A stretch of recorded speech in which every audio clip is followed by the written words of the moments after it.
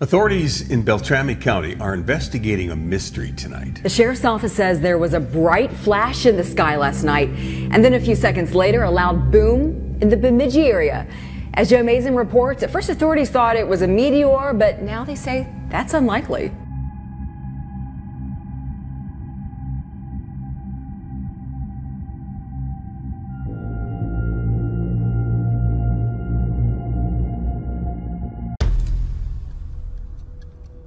Yes, there have been ET visitation. There have been crashed craft.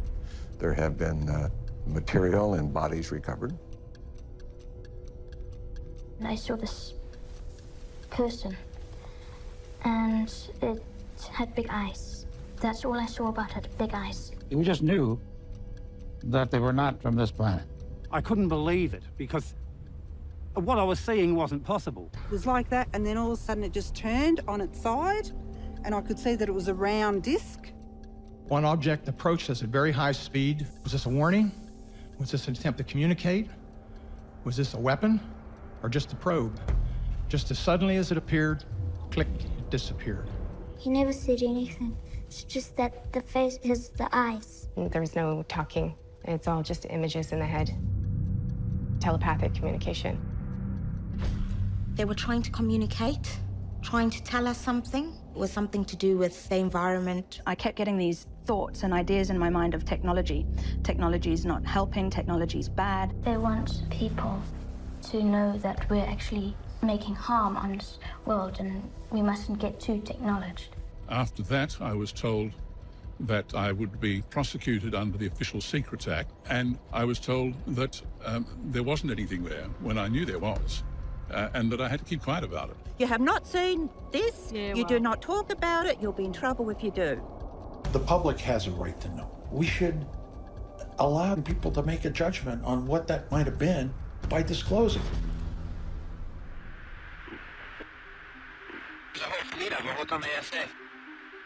My gosh. See that thing? It's hurting. Declassified U.S. government documents and witness testimony from former or retired U.S. military personnel confirm beyond any doubt the reality of ongoing UFO incursions at nuclear weapons sites. What you have heard here today is evidence of a phenomenon. It sounds fantastic, and it is fantastic. Malmstrom was America's first line of nuclear defense.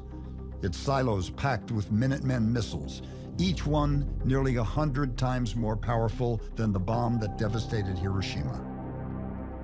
Launch officers could, within minutes of confirmation, send their birds arcing 6,000 miles to incinerate key Soviet cities, triggering a war that would end our civilization. Screaming into the phone saying uh, they're looking a red glowing object hovering just above our front gate. Our missiles began going into what's called a no-go condition or unlaunchable. Essentially, they were disabled. We have UFOs in the air. These witnesses are some of the most highly vetted military officers in charge of the world's most devastating armaments. UFOs have been making incursions into top security nuclear facilities decade after decade. To me, it's pretty clear. This is just, we're shining a light on this, we're pointing it out. What are you people doing with nuclear weapons?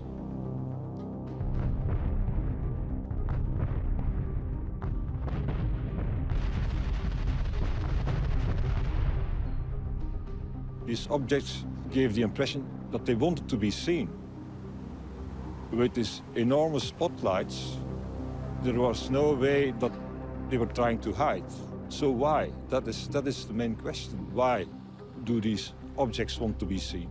Nobody has to agree that why it's there, but shouldn't we at least be spending some money to study all these phenomenon? Shouldn't we study this stuff? Think about the possibilities, what we may discover technologically, how we might solve the energy crisis, how we might raise our standards of living.